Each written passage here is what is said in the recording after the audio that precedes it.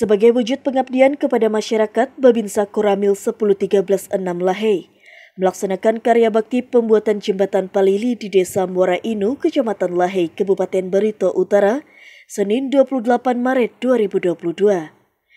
Bersama masyarakat Desa Muara Inu, Koramil 6 Lahei melaksanakan kegiatan karbak ini dipimpin oleh Dan Ramil 1013 Lahei, Letu Infanteri Heri Suryadi.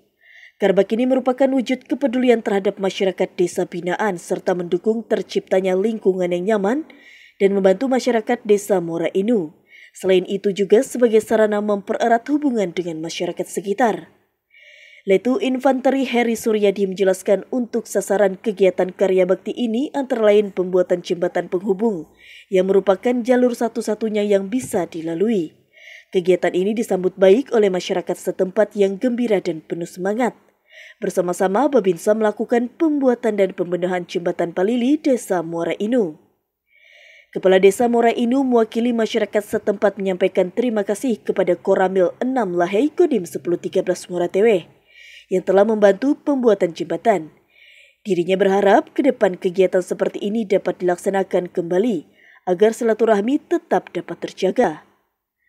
Dari Barita Utara, Anang Pauji, Sampit TV melaporkan.